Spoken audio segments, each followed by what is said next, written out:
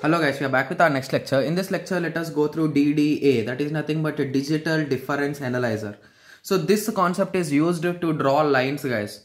So basically we will be drawing lines, right? So for drawing the lines, we will be using this algorithm. So this is also a mathematical algorithm guys. So I'll be just explaining you in terms of words. After that, we'll be going through a small problem so that we'll be having a clear idea.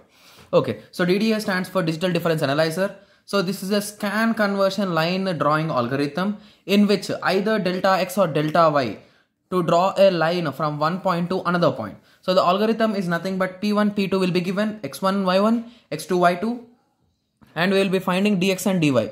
So you can represent it in delta x or delta y or in terms of dx and dy it's fine. So you'll be calculating it guys. So now in the next step you will be calculating the step length that is nothing but the maximum of these both which is having the maximum that you will be substituting in place of a step length and you'll be calculating the value of m. I hope everyone knows that the value of slope is nothing but y2 minus y1 by x2 minus x1. So you'll be calculating it. So according to that, you will be considering the three situations guys. Basically, this is the most commonly seen, seen in our problems. m is less than 1, m is greater than 1, m is equal to 1.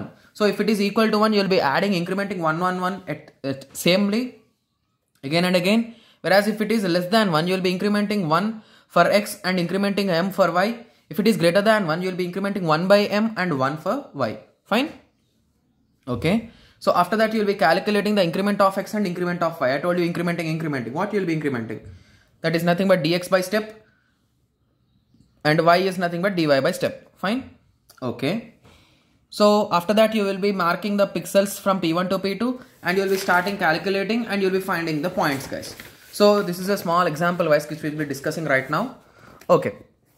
So using DDA, draw the line A to B. So the point A and point B. A, B. So he gave x1, y1, x2, y2. So we have calculated dx and dy, difference between these two, difference between these two. So we calculated the maximum out of these two, that is nothing but 3, comma 7. 7 is maximum, so we got 7. So we calculated slope, we got less than 1. Okay. So now we got, we will be calculated the increment and y increment. So x increment we got 1 and y increment we got 0.4. So now you'll be incrementing along with it guys. So just let me, okay. I think I need to manage it somehow now. Okay. So I have just started here. I told you it is plus 1, it is 0.4 plus. So here the only problem is that you will be taking approximations guys. Fine. So here we got 5, here we got 4. We'll be approximating it to 4. So 6, 4.4, we'll be approximating it to 4. 7, 4.8, 5. So indirectly we are incrementing 1 and here we are incrementing 0.4 but we are doing it uh, like round or something whatever you may call it. So you will be making it as a normal integer. Fine? So we got at the end you will be reaching to your endpoint. This is 5 comma 4 is your start point and 12 comma 7 is your endpoint so if you plot these points these will be the points guys.